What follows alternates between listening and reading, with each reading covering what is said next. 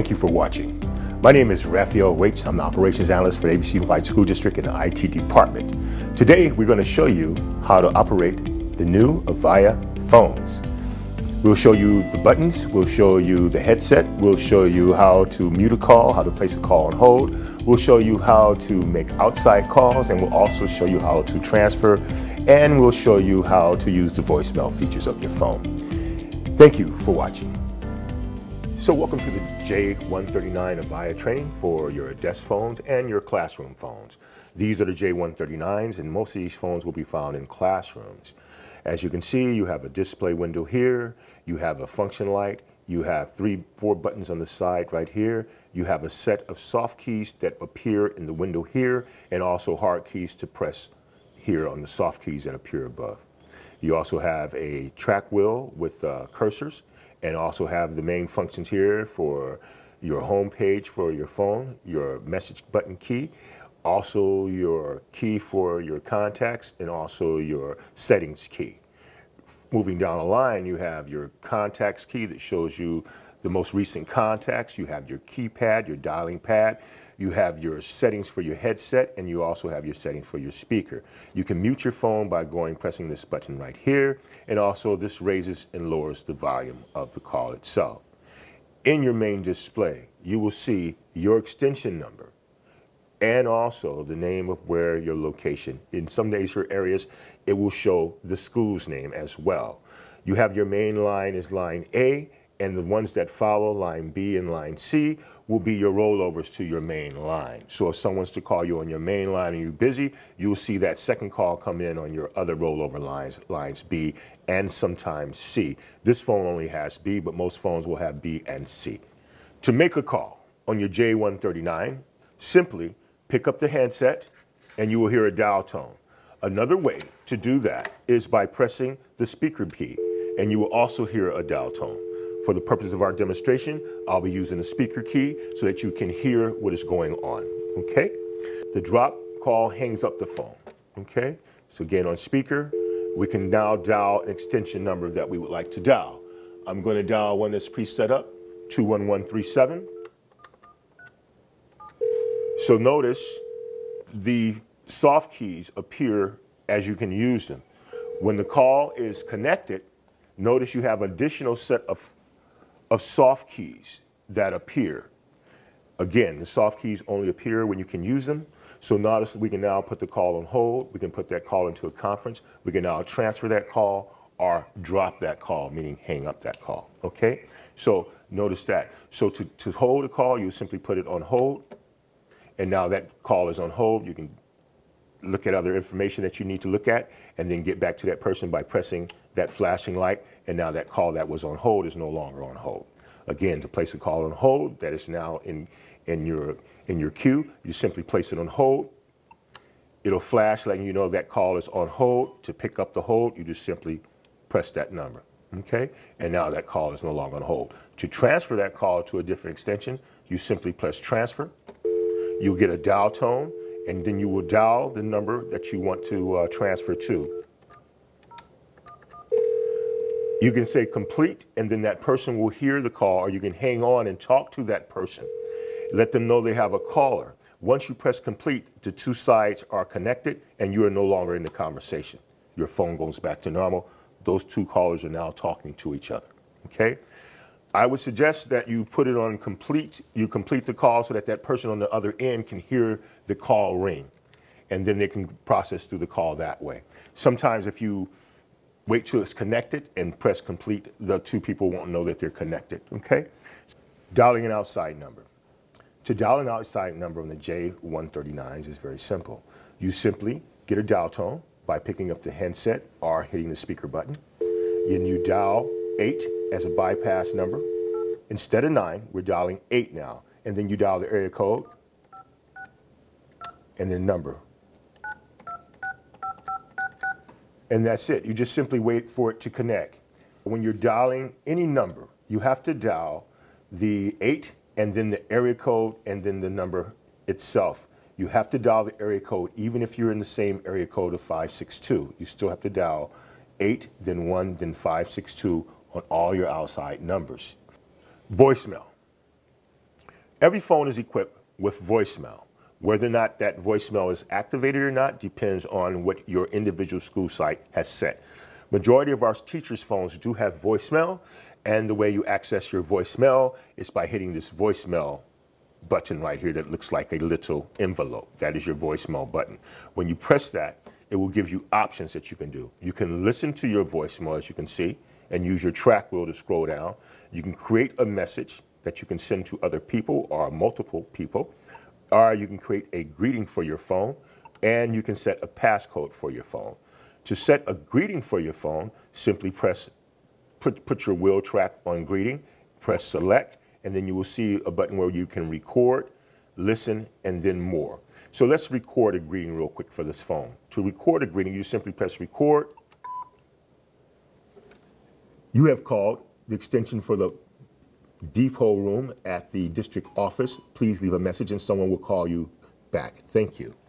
And then you stop, right? You can listen to that message. You have called the extension for the depot room at the district office. Please leave a message and someone will call you back. Thank you. If you're not satisfied with your call, you can always press record and to do the process again. When you're finished, you need to press submit, and that will send your message to the queue so that people will hear when they call. And that is how you create your greeting. All right. To get back to the main to your main page at any time, you just simply press the top key here, and that is your home key.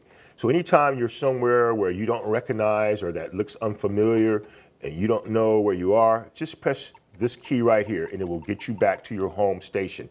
And your home station shows your extension number and your location. Sometimes it'll show your name or your school site, okay? So that's how you get to your main. This is your escape key. So no matter where you are, if you're unfamiliar with it, to get back to your home screen, press this button right here, okay? To retrieve your messages, you simply press the message key and you're going to look for listen. Notice that it says 2 slash 0 and 0. The 2 means how many new messages you have, the 0 means how many saved, and 0 means how many uh, uh, messages that you uh, have uh, copied over, okay?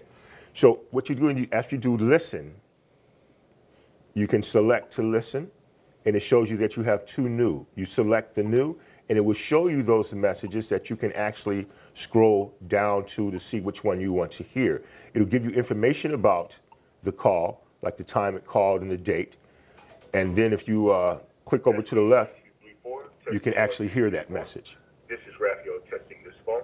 Thank you. Okay. Now you can go more, and you can have options to delete or save or copy that message. So we're going to delete that message. Yes. Okay. Yes, testing one, two, and now this is the second message that's coming in. Testing one, two, three. And we can delete that message.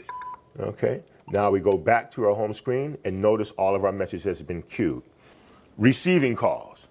When your phone rings, you're receiving calls. You can see the number that the or the area or the number that the call is coming from. You can send that call to voicemail, you can ignore it, or you can drop the phone. If you drop, it's going to send it to voicemail. If you ignore, it's going to continue to ring.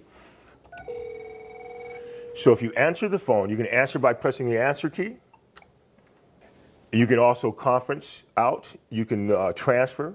Again, the, the, drop keys are all here. The soft keys are all here. You can select what you want based upon where you are in the queue.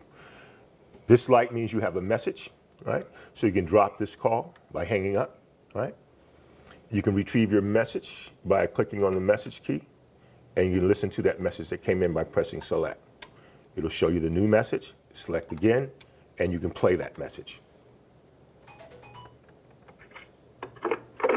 And it was no message, it was just a hang up. So then you go back to more, and then you can delete, save, or copy that message. So we're gonna delete. Okay, go back, tap your home screen to get you to your home place. To transfer a call. To transfer a call is simple.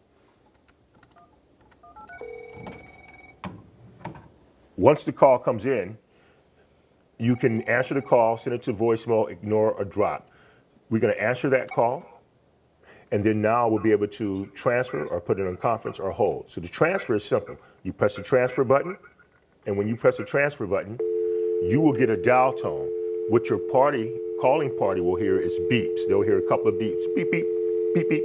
So you get a dial tone, and then you dial the number you want to transfer to, and you can press complete, and they're going to hear that phone ring, and then whatever that phone setting is to go to voicemail or someone's going to answer it, that's what will happen on the back end. And that's simply how you transfer the phone. Now, you can stay on the line and let it ring and answer that person, but it will not connect to that person unless you press the complete. Customization. Now, there are some features that we allow for customization. So to customize your phone and some of the things, you'll hit this button right here at the top. And you can go to applications and settings. If you go to settings, you have settings for your phone, your audio, and also your display. If you go to your phone settings, right, you can, uh, you can decide whether or not your alerts are coming on your phone or not, and you can toggle them off or on back and forth. Mainly they're already set, so you won't have to worry about that one. However, there's another one that you will do for the audio. Sometimes some of you have headsets, so if you need an audio path, automatic gain is on. If you need to change your audio path to default to your speaker, you can toggle back to different things like your speaker to headset to a speaker to your headset default speakers. We're going to leave it on default speakers because that's the default. Your display. This is something a lot of people play with. If your display, you can change the background setting of your display by clicking on this button here, your primary display, and you can select different ones for preview and see what it looks like. There's different images for dark. You can change the abstract. You can select different colors. So all these are done right here under the, the settings menu, right? These are the different options that you have. Uh, so you can select those different options and preview it. It'll change what you're looking at your screen. So you can select, once you select what you want, you can preview it, select and then preview what it looks like. It'll, it'll change and you can also change the uh, background as well. So you can have fun playing with this. You're not going to hurt the phone. We highly recommend that you, you play with it. Once you find one that you like, you just press save and that'll lock it in. Okay? On the back of these phones, there's a place where you can plug in a headset. So it's clearly marked. And once that headset is in, you'll be using this function right here for the headset. Right?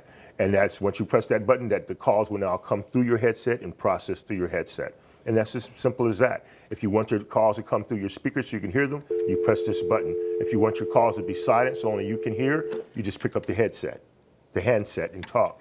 If you have a headset, you use the headset speaker right here, button right here, and pressing that will activate the headset and all your sounds will come through the headset. It's very simple.